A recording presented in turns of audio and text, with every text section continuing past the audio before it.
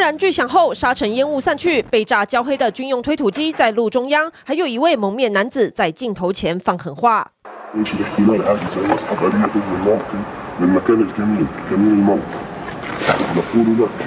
这是哈马斯成员释出在拉法伏击以色列军队的最新画面。面对敌人隐身在各个角落，随时跳出来给予致命一击，以色列的反击就是拿出最自豪的科技力量来回敬。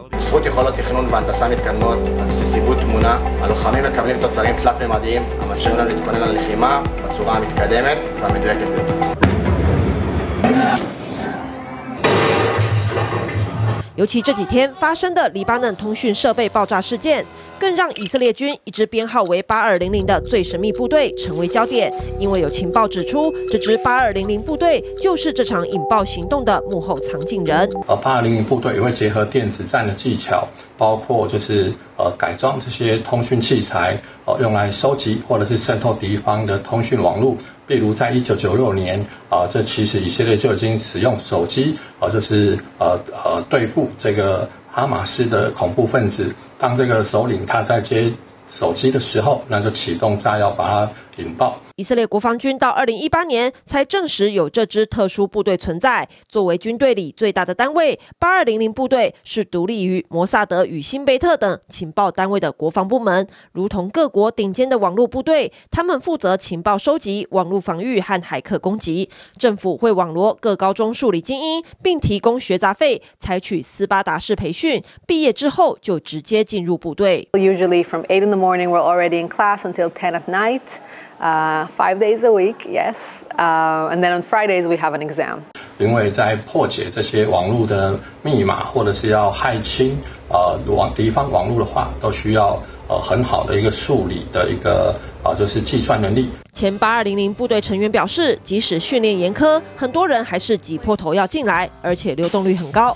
毕竟这份军事经历就是块金招牌，让很多高科技公司都想挖角。不少退役的人甚至在美国戏股创立市值达数十亿美金的公司。Probably the most important part of the of the of the unit culture is a can-do attitude. So an attitude that says, no matter how big the task is, no matter how you know lack of resources I am, and how much I don't have any idea how I can pull this off.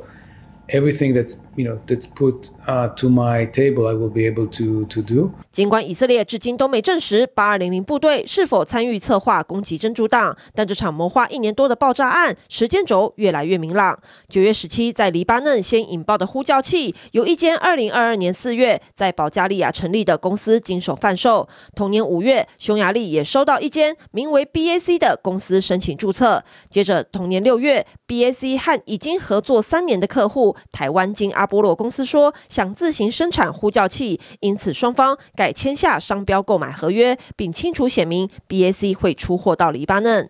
黎巴嫩呼叫器爆炸案的源头追货品也追金流。昨天匈牙利媒体 Telex 最先报道说，注册在保加利亚的 Norta Global 才是从台湾进口呼叫器，安排交给真主党的执行公司。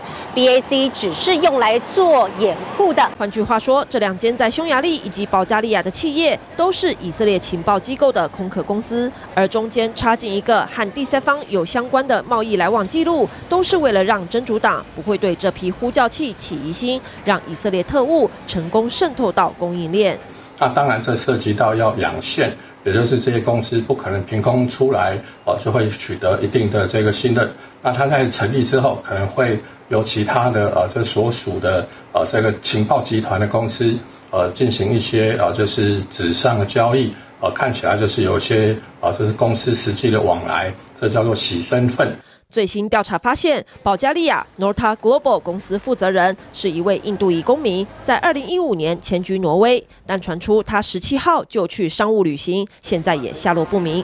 随着调查越来越深入，却也让包括台湾在内许多国家无辜卷入以色列的这场谍报战。TVBS 新闻综合报道。想看最完整的新闻内容，记得下载 TVBS 新闻网 APP。